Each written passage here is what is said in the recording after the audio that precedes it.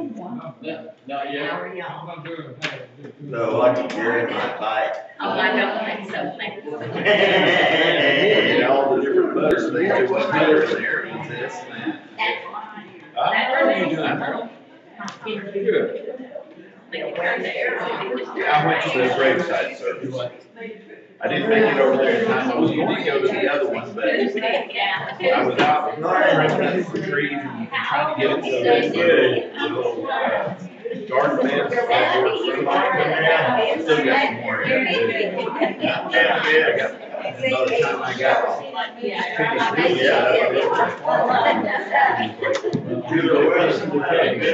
So I started it Tuesday, so I went and got showered up. and then over I went the Cemetery. You guys are headed out for what? Thursday. All right, now I wanna know. Make it all the way through the game. Someone sitting here? Good morning.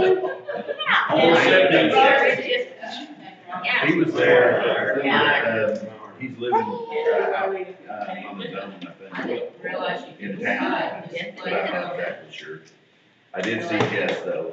but- Never know how They many did? But things yeah. you Jess- need out So, You know, so. yeah, I can put it all down there. but There you go, mine. Or, yeah, he was. You bet. He was- he put the house together and such, so. Whatever. she did. Right. We work with it. Yeah, exactly. Yeah.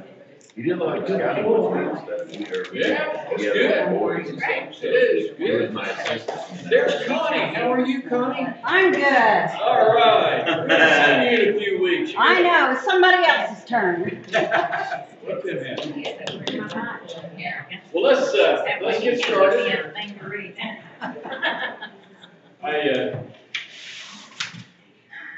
been quite a week. I know lots, You got some? lots going on, so. Uh, you know, yesterday, you couldn't turn on the TV without September eleventh, the remembrances, and that's appropriate. That's nothing wrong with that. The, uh,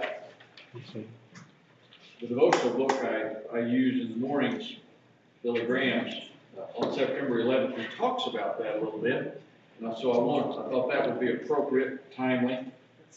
But I remember when he came to Oklahoma City in nineteen ninety-five, and, uh, they asked, uh, they asked him one of the questions, you know, why, why do things like this happen with the Murrah building bombing?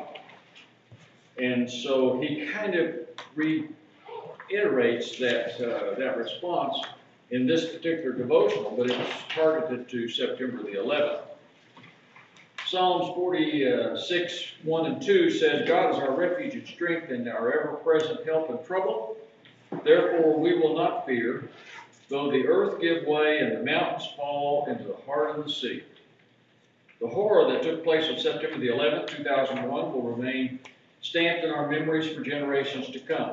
Who could ever forget the sight of those hijacked airplanes slamming into the Twin Towers of the World Trade Center and the site of the Pentagon? Who could forget the courageous men and women who stopped another plane from reaching its destination?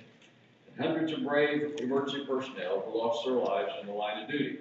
I've asked myself hundreds of times why God allows uh, evil to flourish, and I don't have the full answer. And that was exactly what he said in uh, 1995 in his remarks to uh, to the survivors and the families then. You know, why why does God allow this to happen? And, and he just very publicly said, I don't have the answer to that. And if you ever want to see his full response, you can get it on, I think it's YouTube has it. How do you get You that? can get out there and find that service that they had in nineteen ninety-five. But he says, I've, uh, uh, he says, I've, I've asked myself hundreds of times why God sometimes allows evil to flourish, and I don't have the full answer. But he does say this, evil is real, and we ignore it at our peril. Evil is so real, it cost God's son his life. But I do know this, even in life's darkest hours, God is our refuge and our strength. Not money, not military might, not diplomacy, not human cleverness, but God. As you reflect on what happened on that September the eleventh, uh, is our God your refuge and your strength? He can be, as you open your heart, uh, as you open your heart and life to Jesus. Uh, thought that might be just a comforting thought for you today as we kind of reflect, have used this time to reflect on those kinds of things. And we all know that. We've all lived through it. Everybody in this room has lived through events like the Murrah bombing, the events like September the eleventh, be it Pearl Harbor, be it whatever. You stop and think it, we get as old as, as, as some of us in here. Right, Chuck? Yeah, I gotta be careful. Now, I'm younger than, I mean, I'm older than he is, what are you talking about? I didn't ask for true confession. I- She don't, she don't remember September eleventh, so. Yeah. But, Now, how uh, do I take that? After you're too young. You're too young. Oh, I see. There you go. I'm, we're gonna get on to something else. We're already in deep trouble, right? Seventeenth chapter, John. We spent two weeks on the first six verses, or first five verses. But I wanna try to, uh, try to get us through the sixth through the nineteenth today. Uh, and I gotta tell you, I can't remember, maybe it was Wanda, she always asks these really penetrating questions that seem to trip me up for days and days and months and years on end. That, that the seventeenth chapter, was it, what, is this your favorite? Yes. Yeah, okay, I got it right, I got it right.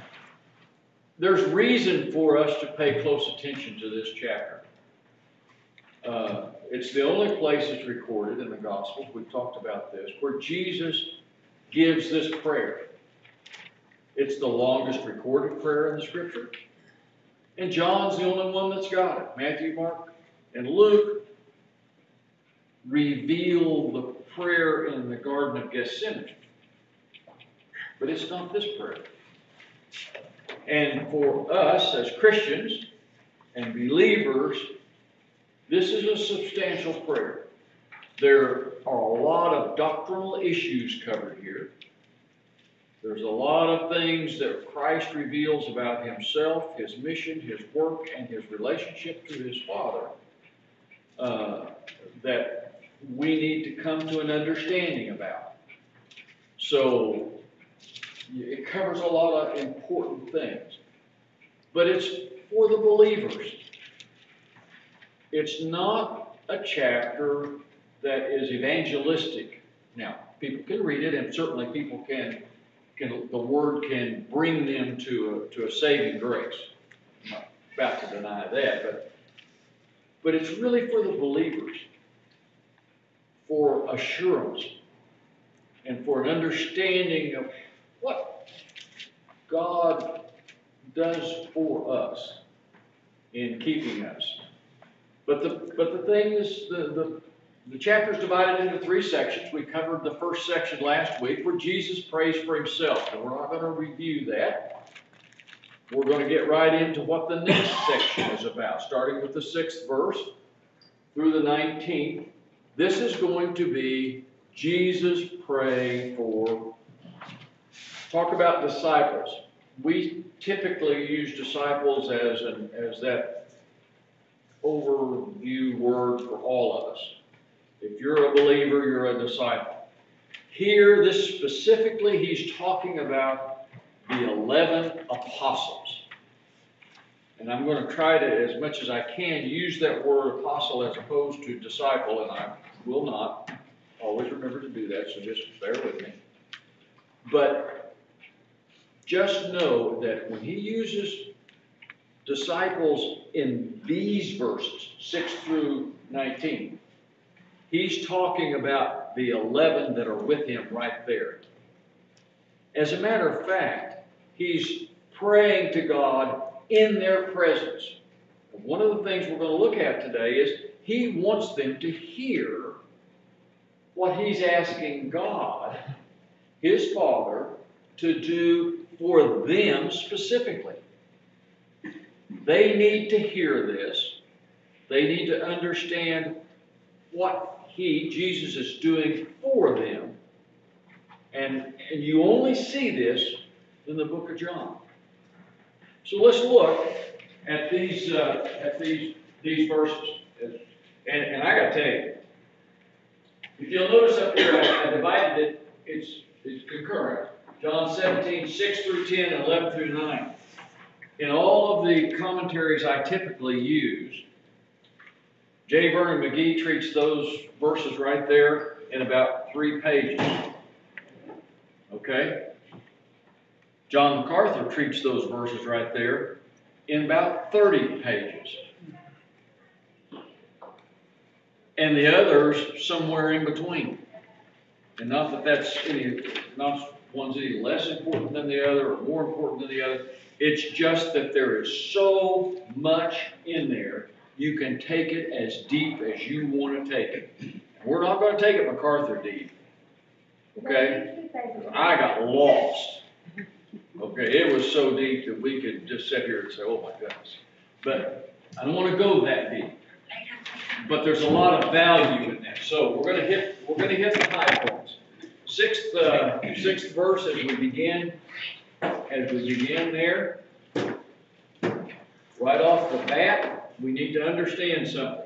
I've been accused of a lot of things a lot of times for a lot of reasons, and they're probably all so until the preacher's wife came in, and I'm not gonna admit to anything.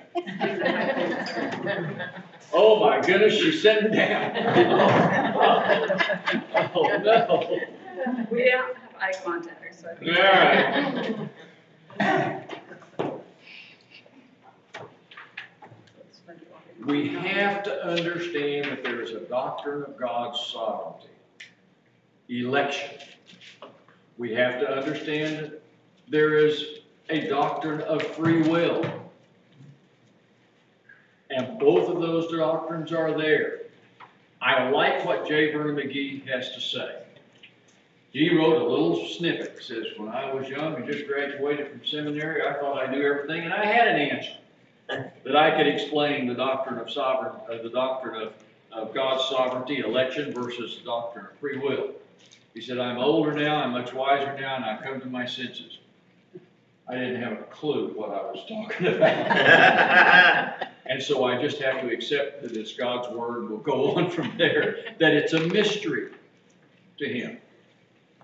And so anybody, in, in my opinion, anybody that, that wants to say it's one or the other, and the other doesn't count, had better read this chapter.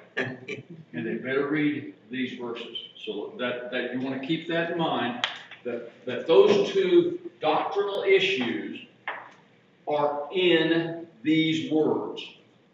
They're in this recorded prayer. And they're going to start off real quick. So keep, keep that kind of thing in mind.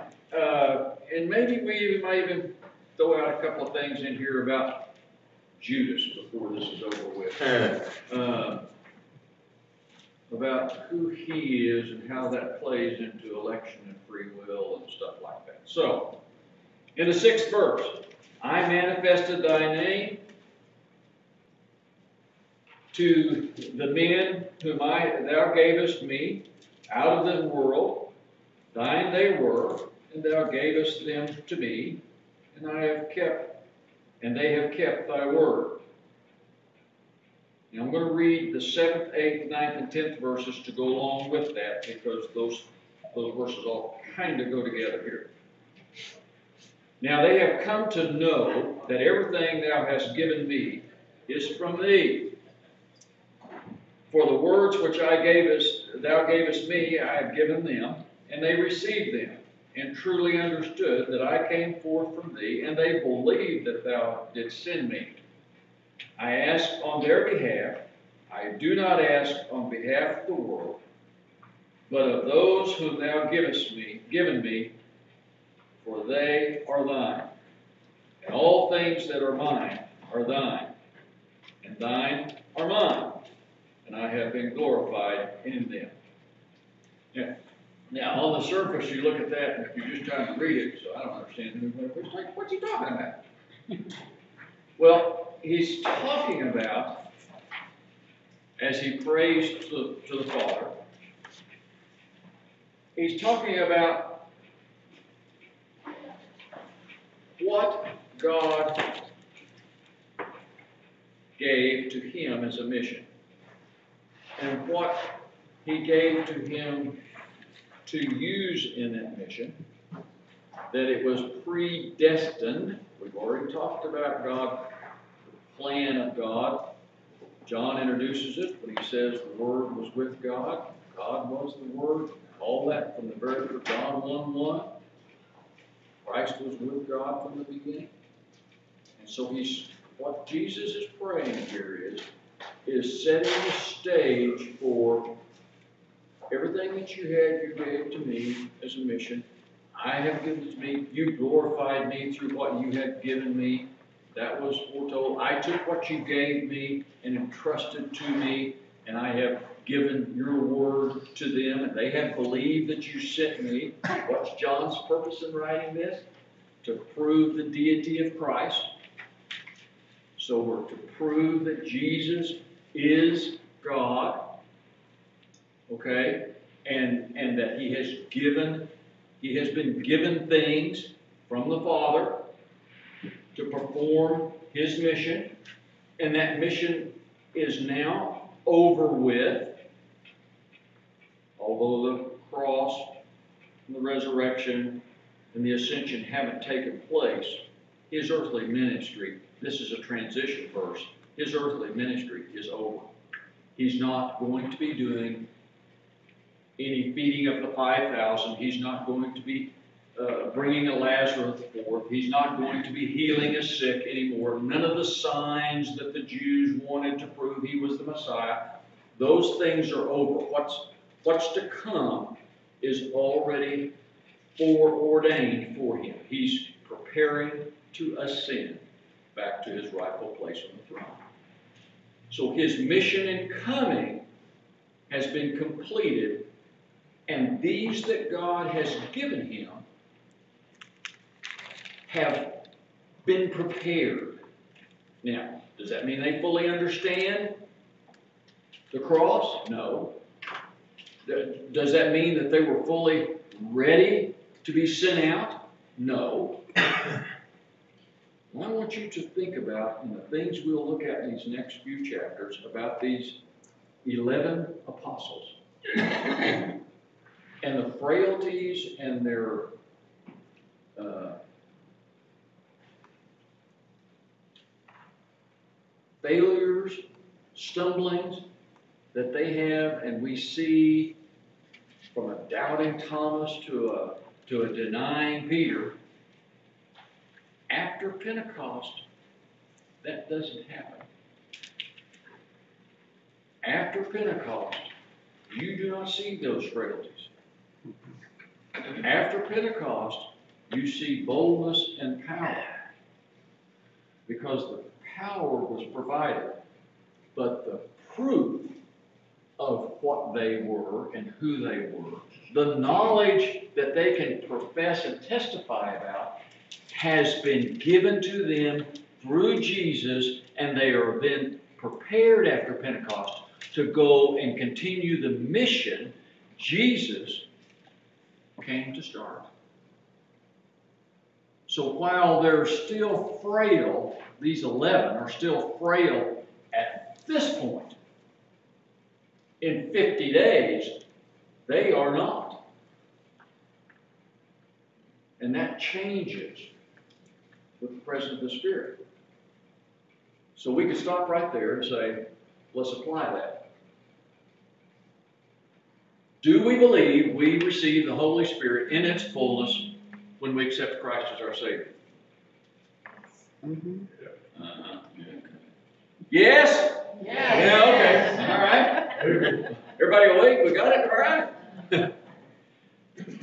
Well, then, we have been empowered to take what we have believed in, what we now profess to believe in, And we have a boldness to continue the mission they did in, in their likeness, in their manner. What did they do?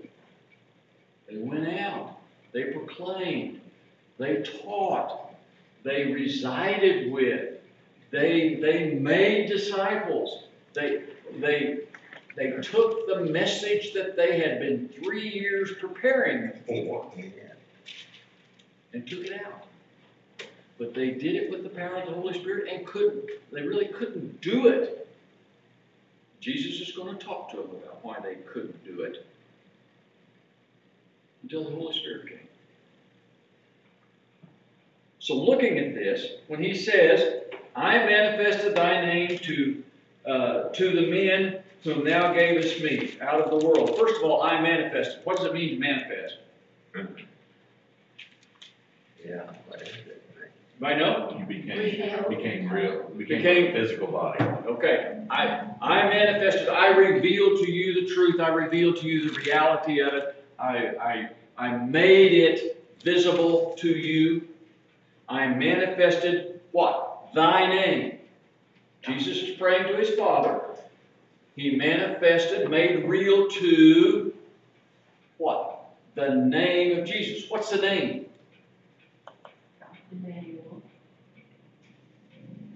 And that's one. Messiah. Hmm?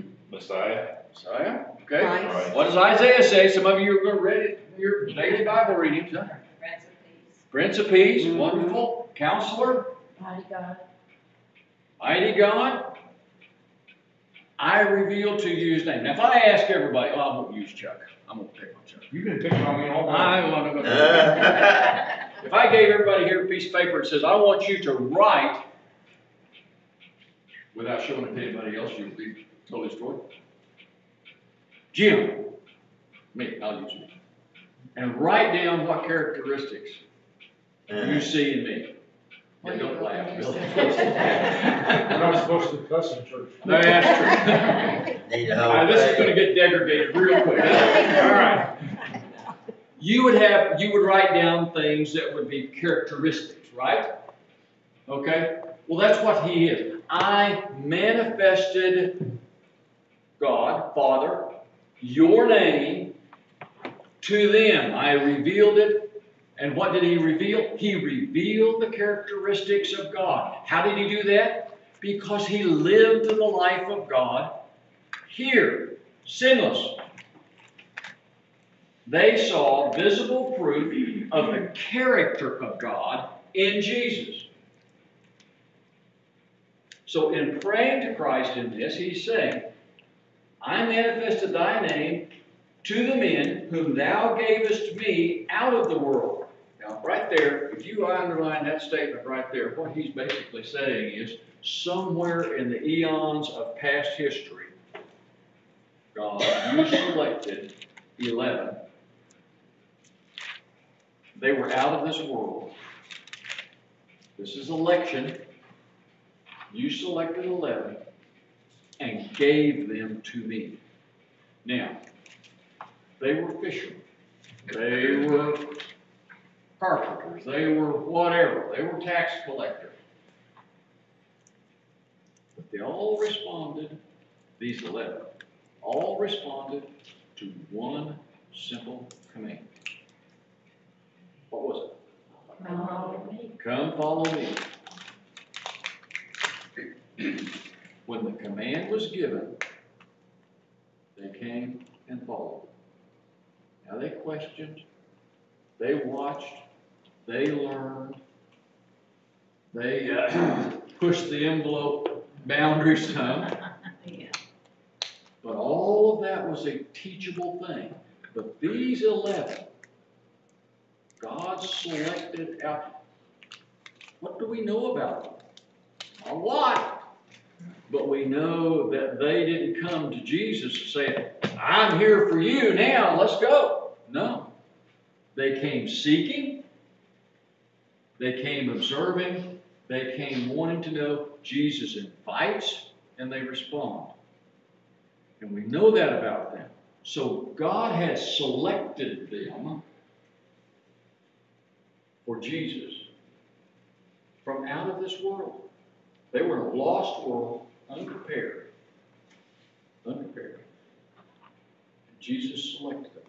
And he said, You gave them to me out of the world.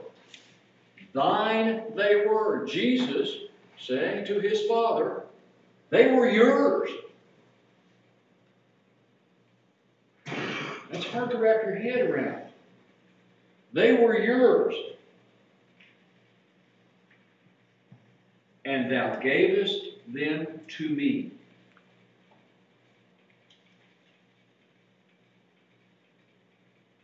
What did Jesus say earlier? Something about those that you give to me, I will not lose. Doesn't that kind of apply here? Thou gavest to me, and they have kept thy word. Now that, that phrase right there, they have kept thy word, is, is a phrase that's gonna come back and back and back. They have kept the word, they have secured the word, they have embraced the word, they have, they have just enveloped the word to be obedient to it. Now, the full power of that is not evident yet. The full power of, of obedience to the word doesn't really come to them until they're empowered by the Holy Spirit. Jesus, what did he tell them? I'm going to leave you, but I'm going to bring one or let one come or have one will follow that is more powerful than I. And so they're going to be empowered by the presence of the Holy Spirit. But they belong to God in the beginning. He gave them to Jesus. Jesus taught them, revealed the character of God to them in three years of ministry. Okay? And they kept the word, they stayed true to the word, they believed. Now they come to know that everything thou hast given me is from thee. That's the key part of that.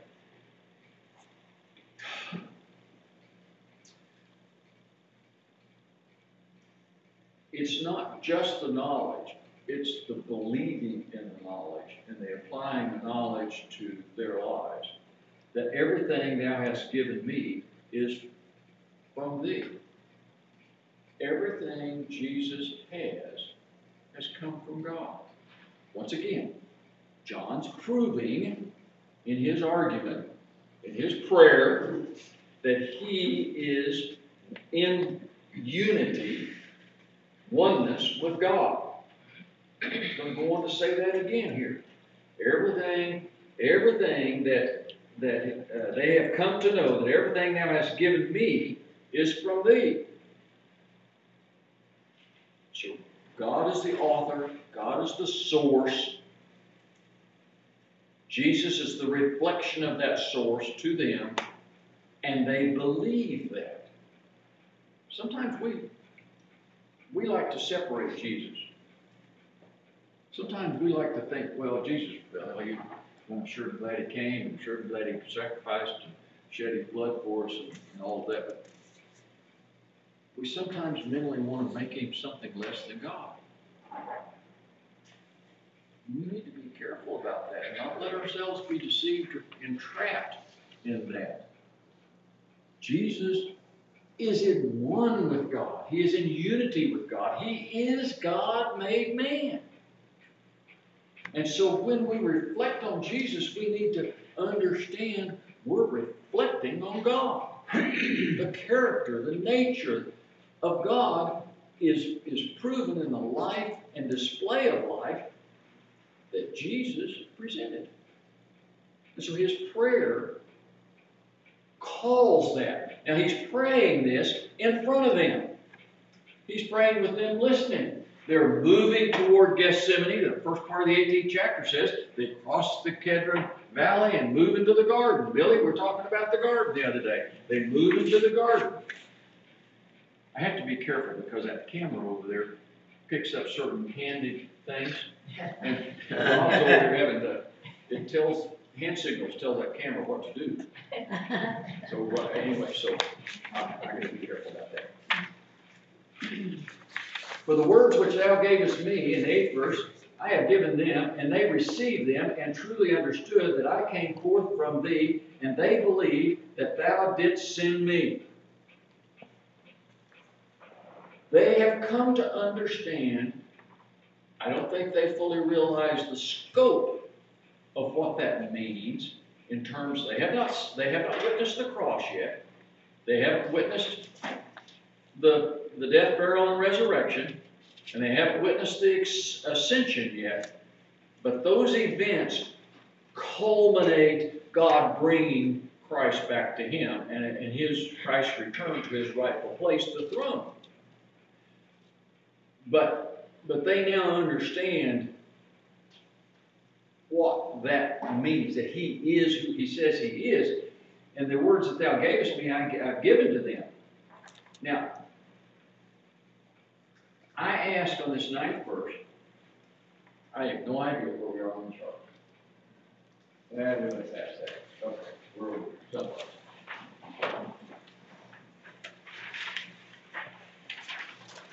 Aaron, you'll note that I don't keep up with my charts, they're just. Okay. I ask on their behalf, I, I do not ask on behalf of the world, but of those whom thou hast given me, for they are thine. Listen, I do not ask on behalf of the world. You want to talk about a personal prayer?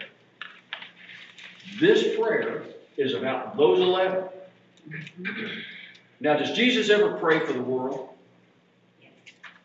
Somebody give me a classic example that's fixing to come up. Classic example of Jesus praying for the world. On the cross. Forgive them, for they know not what. Who is it to? Them, the world, this evil world. Jesus prays for the world. Here he's praying for these eleven. See, whenever I read that, I don't really get that. I get that he's praying, yes, he's praying for them, but he's praying for all of his. Now, that includes them and Matthias and the, and, you know, the others that are there, because it's not just the eleven that are walking to Gethsemane with him.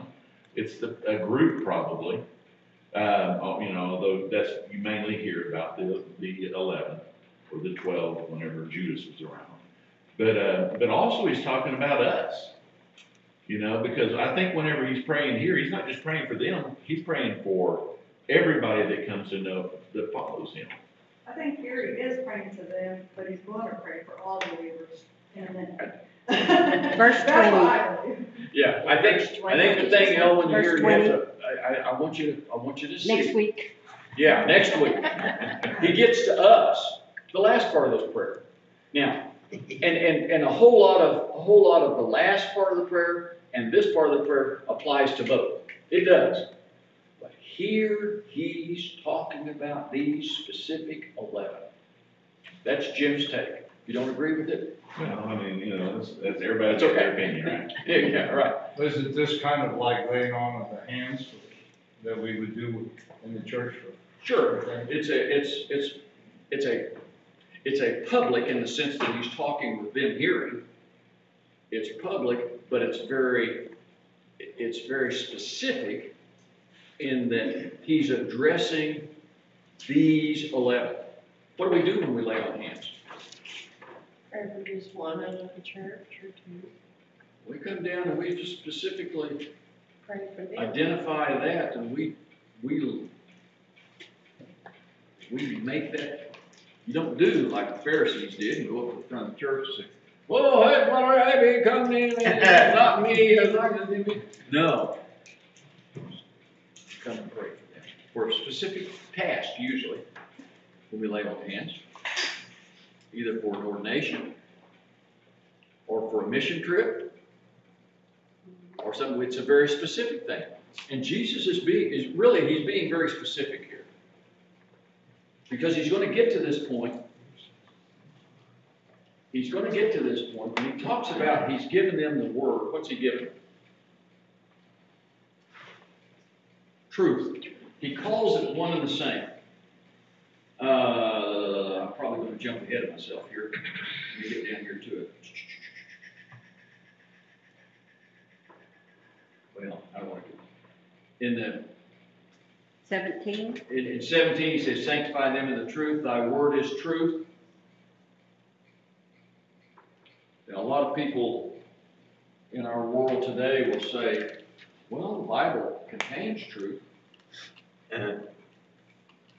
That's, that's an Short, accurate statement, but it's not completely accurate. Sure The full, the full statement is the Bible is truth. God's word is truth. And we as Baptists like to, like to profess that we're people of the word. If we're gonna profess that, then we're gonna be people of the truth. God's word can't be partly true or mostly true. God cannot tell a lie. He cannot deceive. His word reveals truth. And we stand on truth. So they have been taught through Christ's revelation truth. We want to get away from that. So Ellen, I, I, I'll respectfully disagree with you in that sense, okay? In that sense, that he's, he's picked out these eleven here, in my opinion, and go to verse twenty, he's gonna, next week, he's gonna talk to us. What about, um, okay, then they, later on, they have the, another apostle. Because they had a group of people, because they wanted to add back to the original twelve. And they had a group of people that had to make, meet all these, um, criteria. And because they were with him from the beginning and, and, and through his ministry, et cetera, et cetera. Would those people have been included in, in this prayer? Because they do replace, I Starting mean, twenty, because they do replace one of the, you know, replace students. starting at twenty. Okay, so you, okay. Well, Matthew Henry would disagree with you. I'm sure.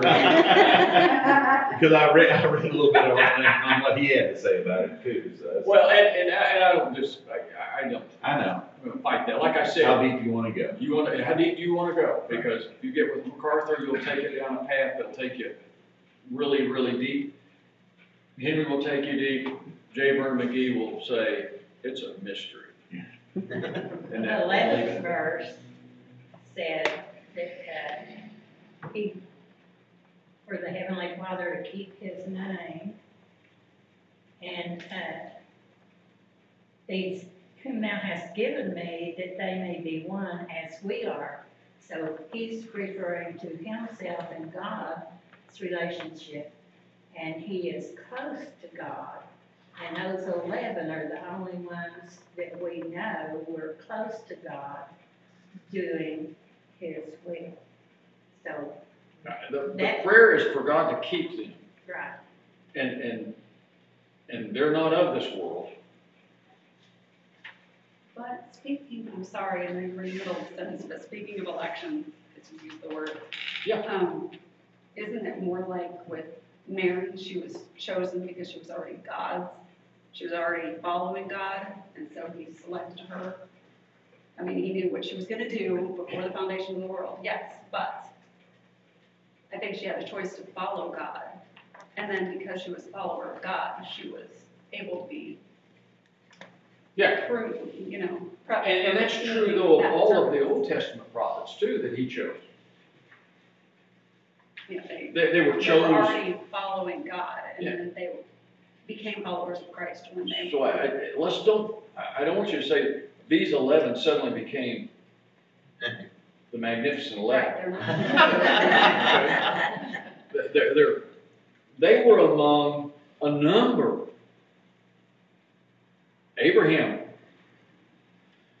was chosen by God in a lost world.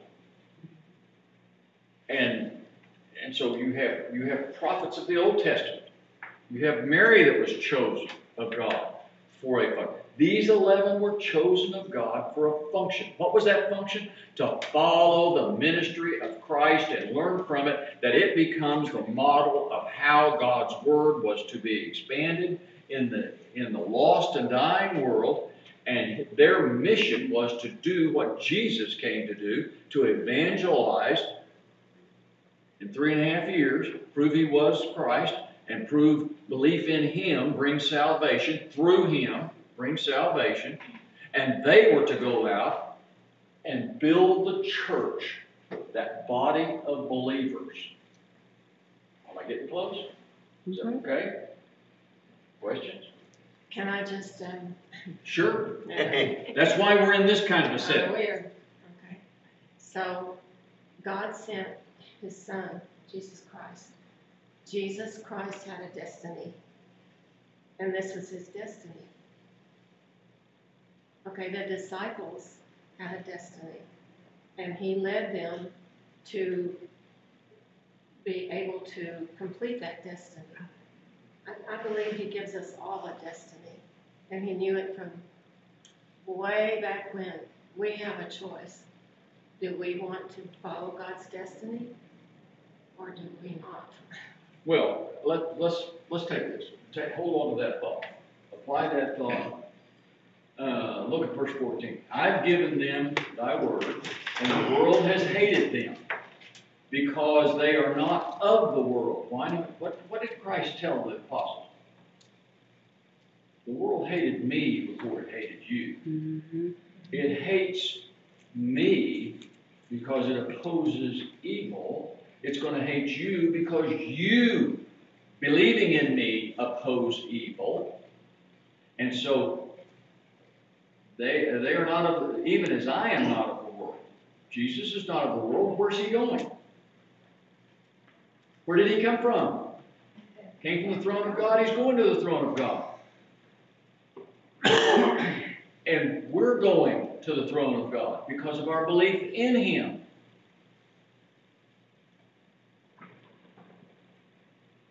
You see, the thought is, kind of off track here, the thought is, when does eternity become real for us?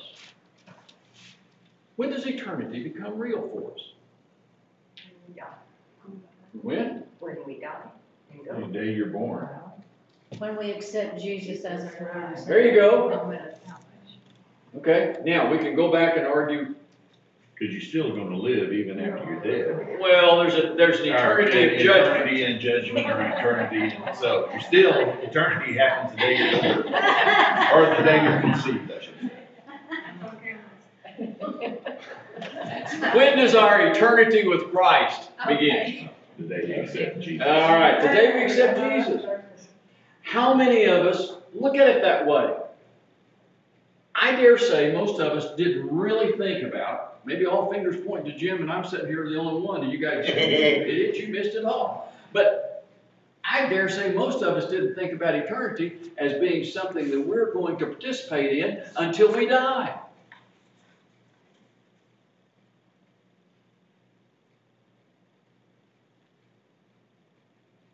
No, we're participating in eternity now.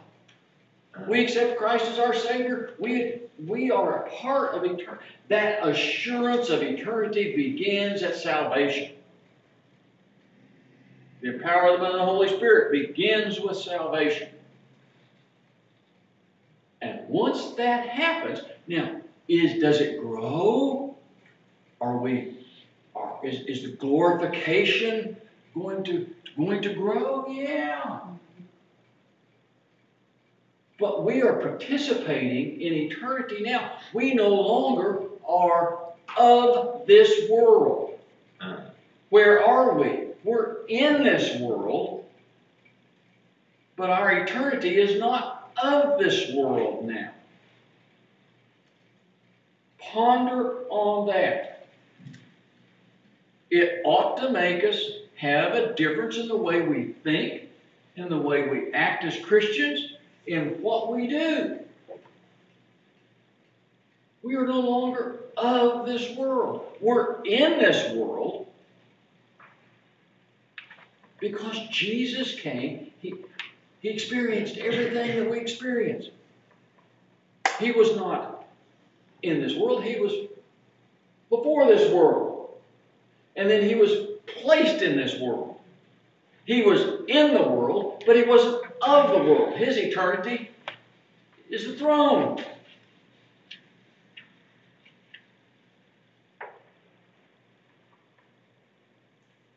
That have an impact on what, how we act?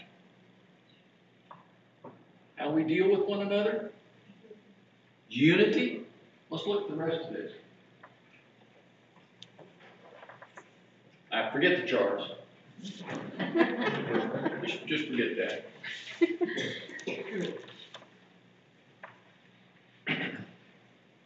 Twelfth verse, I was with them and I was keeping them in thy name which thou hast given me, and I guarded them, and not one of them perished, but the son of perdition, and the, that the scripture might be filled, the son of perdition. Who was that? Okay, so the son of perdition, what does perdition mean?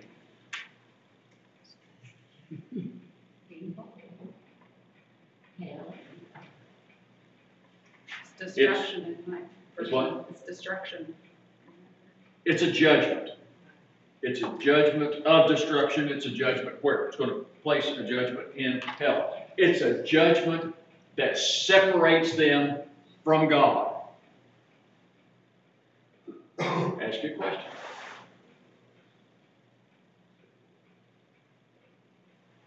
Were there twelve apostles at this time, or were there eleven at the beginning of this evening? Yeah. Because Paul was the twelfth. Was Judas saved? Must not have been because Jesus said he kept all those that were given to him. All of those that were given to him, he kept, and he had not lost one.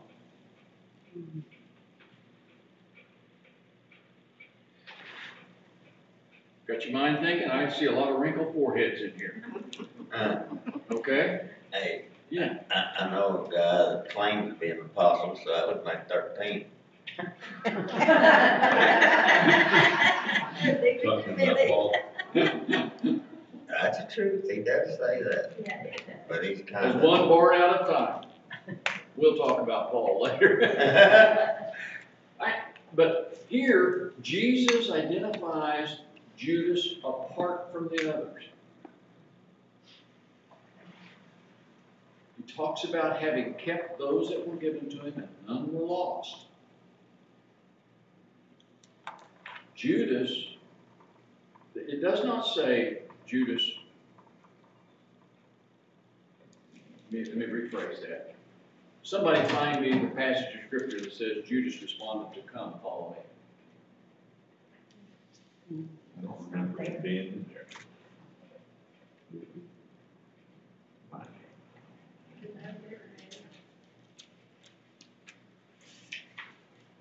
Consider the possibility Judas was not an apostle to start with. Did Judas have free will? Could he have, could he have possibly decided not to betray Jesus? Judas has to be held accountable for his decision. Was he not given at the Last Supper the opportunity? Arian's already over there Googling something. I'm sorry, when it talks about Judas coming to him, he says he called his apostles to him and chose twelve of them, and lists Judas, who became a traitor. So I would argue he's one of them, like the tares and the weeds. He can't, he didn't surrender everything, obviously, Right. and God knew what he was gonna do, and he fulfilled scripture, but And he was exposed to everything Jesus taught. Was he not? Along Did he not the- see the, wi- did he not see the, uh, the, was he not in the boat? Did he not have to feed the, ten, the five thousand? Was he there at the raising of Lazarus? But does that save him? No. But to be saved is just to believe who he is. He isn't, he didn't deny him. We're a table divided right We're a table, and there's only two of us. But I think, I, I think, I think for, for what we're looking at here, Jesus is saying, those you gave to me that believe, what did he say? He, led the conditions it. They believed who I was, the Son of God. They believed in the deity of Christ. Judas is not included in that. And what causes us not to have eternal life? Not believing in Jesus as the Son of God. not accepting Jesus as, uh, as, your Lord and Savior. Because even the devils, even the demons Okay. believe that he is the Son of God. Oh, okay. So, you know, and Yeah, All right, I stand, I stand corrected. But, the- but that's the accepting. point. But that's the point. It's through Jesus salvation comes, Absolutely. and believing in, in Him. Right. And so, you, you've got a, a real paradox here. That there is a separation between those that I want you to keep and ask for God's to keep them. And not take them, they're not of this world, don't take them, Jesus didn't ask for him- them to be taken out of this world. He asked for them to be preserved, protected from the evil. Now, were they protected from floggings, death, arrest? No, they were not. They were not. But that's not the evil. Sorry. you get bloody, didn't you? I hear a voice.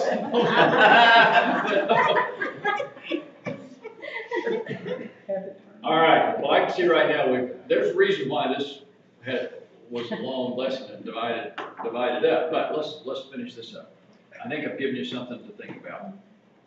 Uh, sixteenth verse, they are not of the world, even as I, I am not of the world. Sanctify them. Sanctify means to set apart. We talk about it lots of times as being set apart to be holy, and we identify sanctify with holy.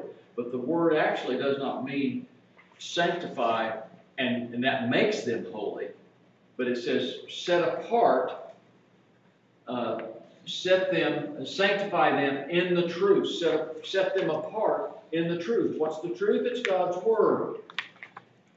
Thy Word is truth. Now that's Jesus talking about, and he didn't say maybe, sometimes, partially, or, or every other verse. Thy Word. The Word of God is truth. As thou didst send me into the world, I also have sent them into the world. Now there comes, reason why this is a transition into the mission of Jesus, Jesus came into the world to do his mission, to do the task of God. That mission is now complete with the exception of the final acts, of which the, these 11 are not going to participate in. The, the cross, crucifixion, death, burial, resurrection, and ascension. These 11 are not going to participate in that yet. They're going to see this. This is the final, this is the end result of, of Jesus' mission. But what does it say? Jesus says, You sent me, and that mission is complete, and I send them. Now, Ellen, this is where that next, that leads into this next passage. Part of this prayer is take those that, take those that they lead to you and keep them too. And treat them like the apostles. And we'll get into that next week. So he said, Sanctify them in truth, the word is truth. As thou didst send me into the world, I also have sent them into the world. And for their sakes, wrapping this up, I sanctify myself, I set myself apart, that they themselves may also be set apart in truth. Well, we get all tied up in the words. But Jesus is really saying, treat them like I treat them.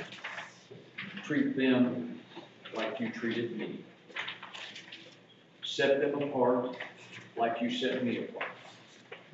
There's a mission to accomplish. And, and that's gonna carry over into you and I. But when we often think about, we have Old Testament, here comes to God, trial lines, and calls people and gathers of people, and he puts them in the land, and he puts out there in Memphis, and they go out, and they rebel, and he he chastises them and he promises them a Messiah and away we go into the Messiah and come to, and here we are at What do you year zero. So, America. Okay, we, we come to year zero, here's Jesus, he's born.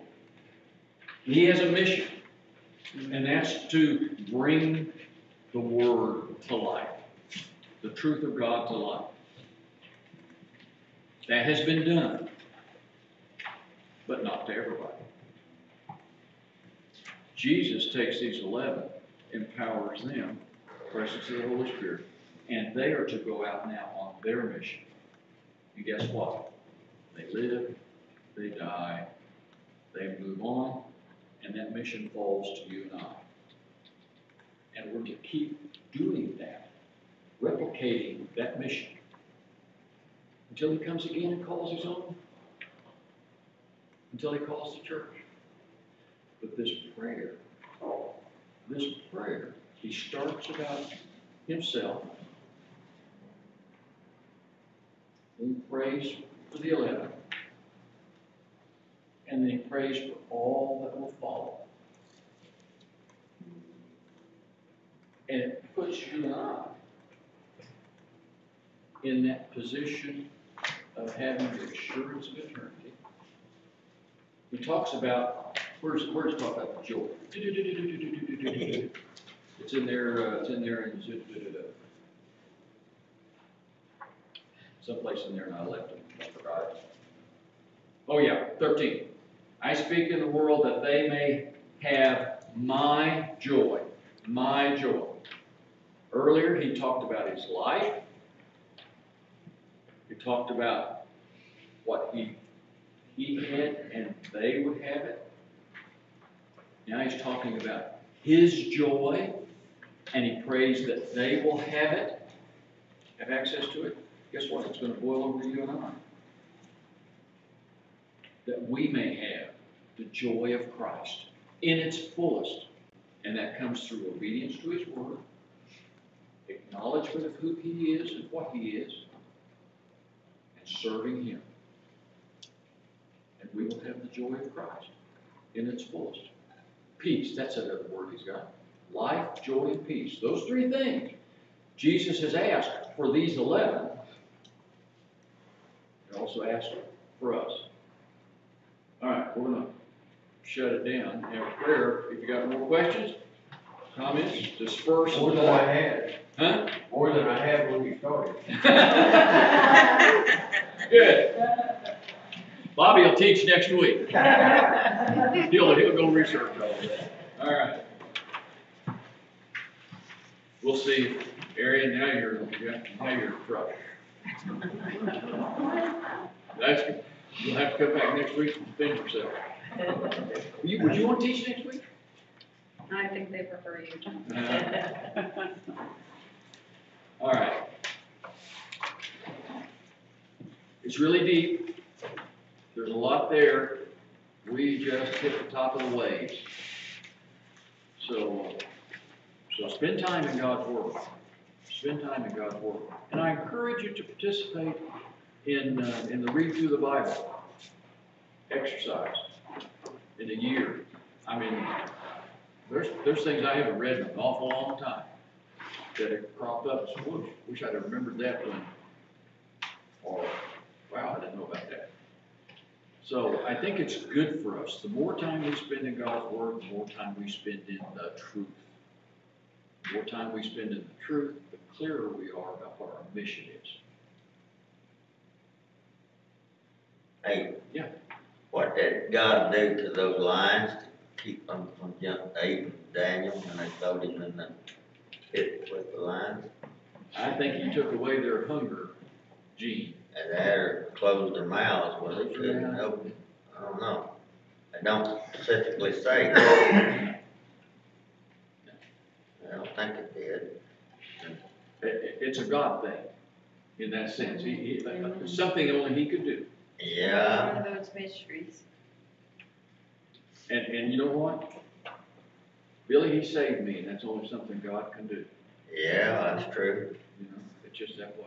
Let's have a word of prayer. We have families that are grieving, we have folks that are healing, we just have a lot going on. Father, we just come before you, Lord, so grateful for the opportunity to, to be in your house.